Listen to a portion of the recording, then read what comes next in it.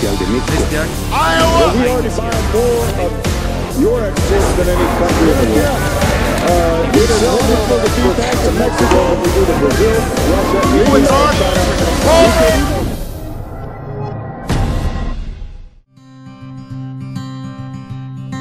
Hoy nos convoca, decía yo, la inauguración de este parque científico y tecnológico. Hace 45 años se creó CONACYT, este Consejo Nacional de Ciencia y Tecnología.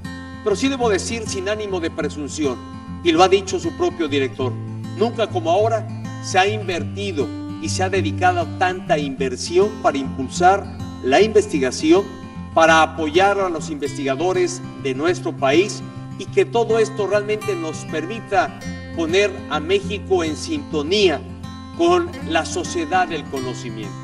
Y lo estamos alcanzando aquí en el sureste mexicano al inaugurar este parque tecnológico, que hemos podido apreciar su dimensión, la etapa a la que ya ha arribado en lo que hoy estamos inaugurando, sin duda el futuro muy alentador que tiene para que tanto instituciones académicas del sector público como el sector privado a través de aquellas empresas de investigación o de base tecnológica se establezcan aquí y hagan investigación.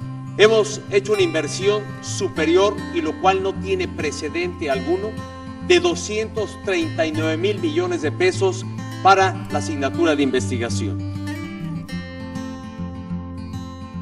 Como presidente de la República, quiero hacer reconocimiento y expresar gratitud a todas y todos quienes trabajan en este campo de la investigación, porque su aporte, insisto, es fundamental para el México que queremos construir y edificar en el siglo XXI.